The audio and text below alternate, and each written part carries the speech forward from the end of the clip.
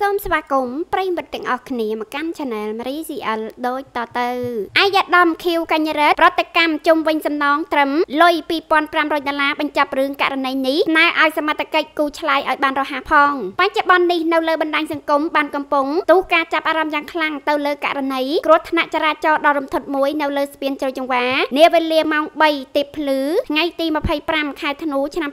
2022ខណៈដែលរថយន្តស៊េរីទំនើបមួយគ្រឿងបើកបរដោយប្រុសម្នាក់ស្ថិតក្នុងស្ថានភាពស្រវឹងបានបើកបុកម៉ូតូមួយគ្រឿងពីក្រោយយ៉ាងពេញទំហឹងបណ្ដាលឲ្យប្តីប្រពន្ធពីរនាក់ដែលជាម្ដាយឪពុកត្រូវផ្លោងខ្ទៀតរងរបួសធ្ងន់ធ្ងរខណៈកូនតូចរបស់ពួកគេជាទីរស់ទៀតច្រើនម៉ែត្រទៅលើផ្លូវត្រូវបានអ្នកដំណើរចិត្តល្អលើកត្រកង3ជួយយកទៅសង្គ្រោះនៅមន្ទីរពេទ្យទាំងក្តីអាណិតអាសូរយ៉ាងខ្លាំងប៉ុន្តែអ្វីដែលមហាជនសម្ដែងការហួចចិត្តនិងឈឺចាប់ខ្លាំងបំផុតនោះគឺរឿងសំណងតែម្ដងដែលត្រូវបានដឹងថាភៀកគីរថយន្តបង្កបើកបរដល់ទំនើងបងឲ្យជនរងគ្រោះដើម្បីបញ្ចប់រឿងត្រឹមតែ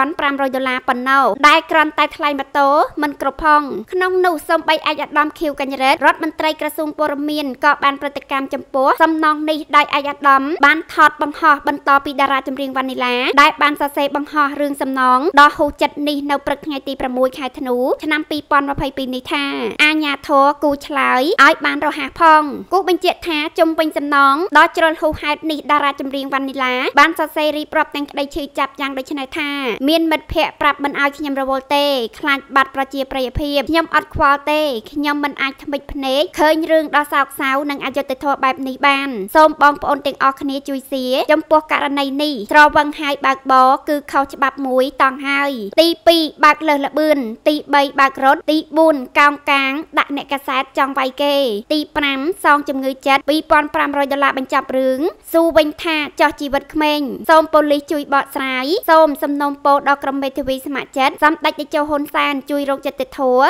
Ministry of Justice មេត្តាជួយអន្តរាគមន៍និងរកយុត្តិធម៌ជូនជនរងគ្រោះជាពិសេសទីរកដែលមិនដឹងថាអាចនឹងមានជីវិតអត់